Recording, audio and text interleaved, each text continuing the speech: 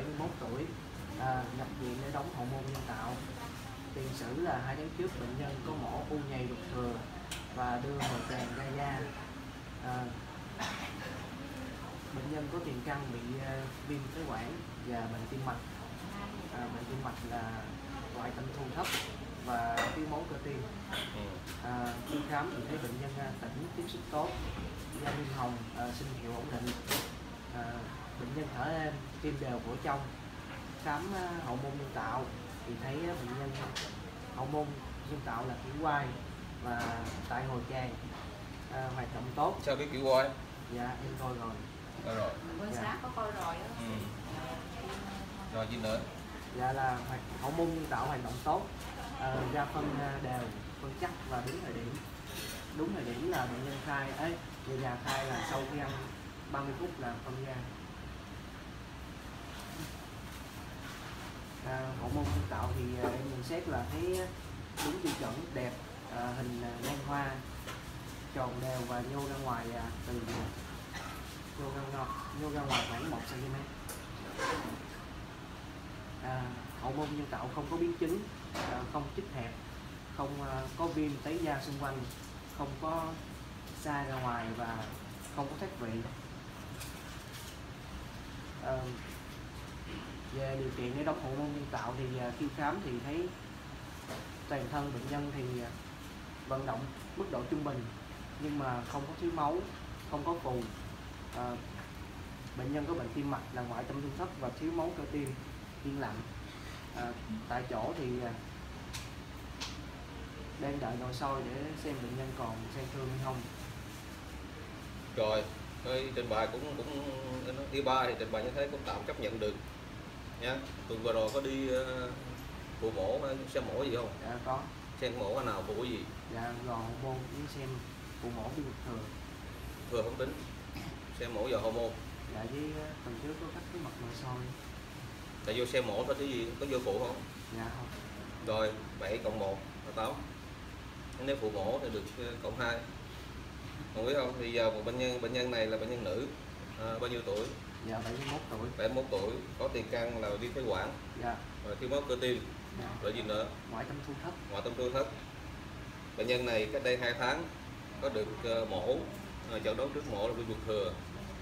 Mà chẩn đoán sau mổ là bác sĩ nghi ngờ là u u nhè ruột thừa và có có nó có rải rác nó có gieo rắc ở trong phúc mạc. Cho nên bác sĩ phẫu thuật viên quyết định là người ta đưa cái cái độ hồi tràng ra làm hậu môn nhân tạo thật ra cái từ hậu môn nhân tạo này cũng không không chuẩn lắm.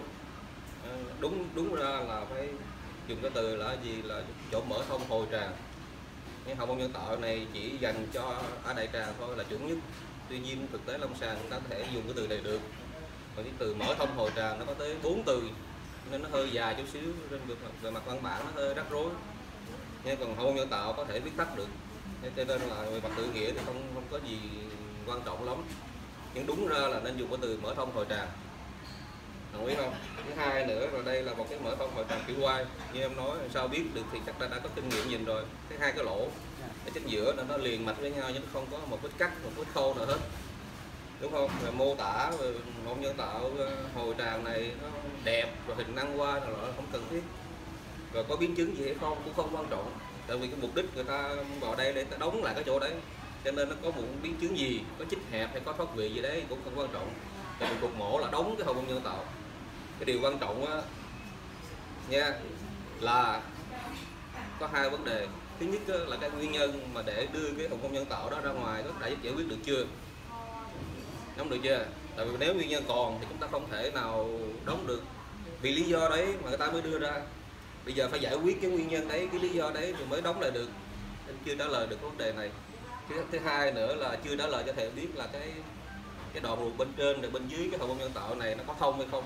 Tại vì nếu nếu là nó không thông thì khi đóng lại nó sẽ bục rồi trả lời được hai ý này chưa?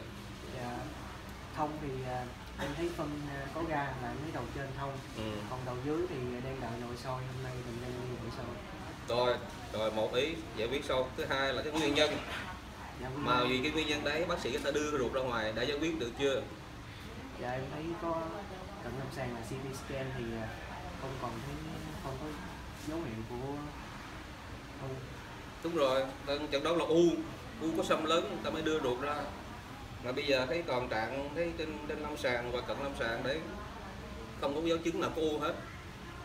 Nha, nên là lâm sàng bụng không có bán, bụng không sợ được cái khối nào ở trong ổ bụng cái toàn trạng bệnh nhân vẫn tốt. Hai tháng mổ mà nghe nói là, là carcinomatosis gì đấy mà hai tháng thì bệnh nhân vẫn toàn trạng có như cũ là chắc khả năng đấy là là là không có hay là thấp. Nha bệnh nhân này rất tiếc là không có không có cái mẫu sinh thiết nào hết cho nên cũng không biết chắc chắn là, là mổ xong ra là cái gì.